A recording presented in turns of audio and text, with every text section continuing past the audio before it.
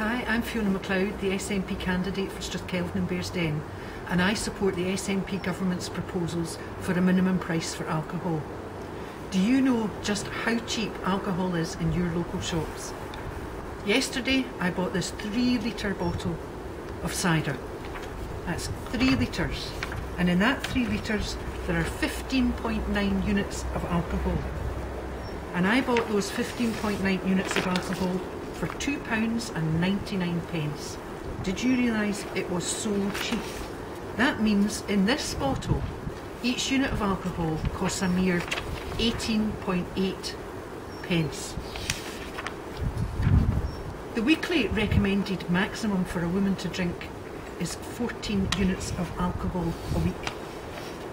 And in Scotland, kids get on average £6.46 pence pocket money a week.